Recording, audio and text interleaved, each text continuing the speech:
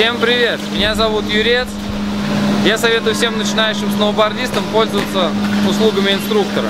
А если вы хотите научиться кататься в парке, делать это без травм, стильно, красиво, то вам обязательно надо заниматься в какой-нибудь профессиональной школе.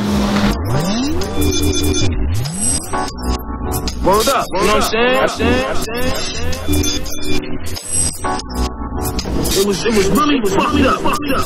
Чтобы быть уверенным в своем катании, я советую всем делать разминку сразу стекнутым в сноуборд.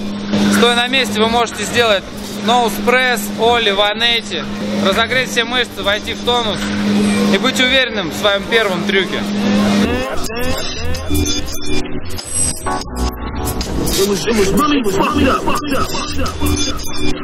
But we don't give a fuck.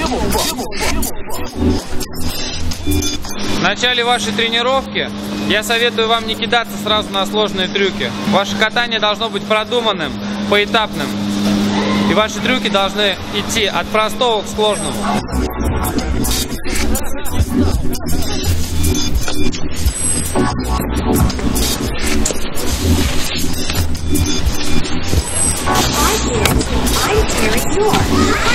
В джипинге есть несколько основных правил.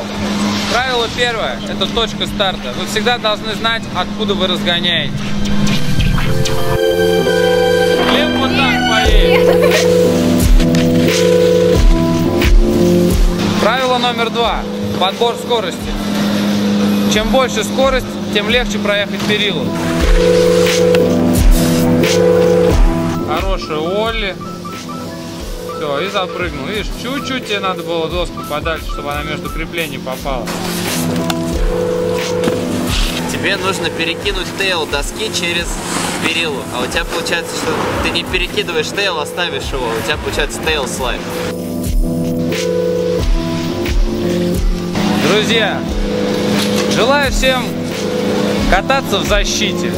Катайтесь с удовольствием, катайтесь с хорошим настроением. Это самое главное получать удовольствие от катания. Катайтесь с DC School Pro. Добро пожаловать к нам в школу.